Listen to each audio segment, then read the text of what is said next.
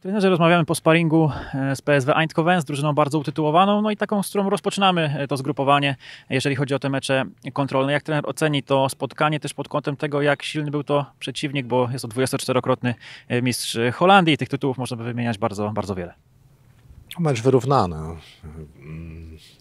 O wyniku decydowało oczywiście umiejętności indywidualnej, wykorzystanie tych sytuacji, ale też błędów naszych, bo każdy błąd właściwie to, to bramka. Czyli to, czego nie doświadczamy tutaj często na,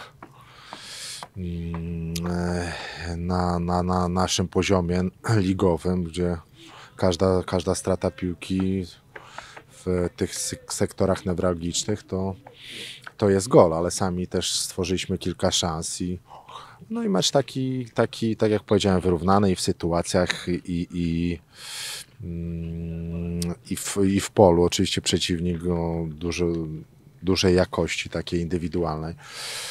Ale to, to wiedzieliśmy, no po to tu przyjechaliśmy, żeby się w takim sparingu zmierzyć. No Marcin na pewno, że przegraliśmy, bo, bo z przebiegu meczu to nie wyglądało tak jak wynik.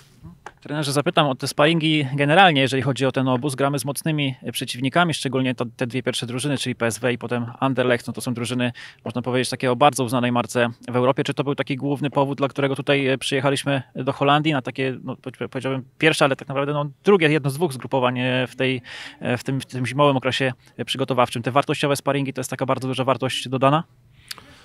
Tak, to, to już mówiłem drużynie w przerwie, że kontrola pełna meczu w pierwszej połowie prowadzimy 1-0.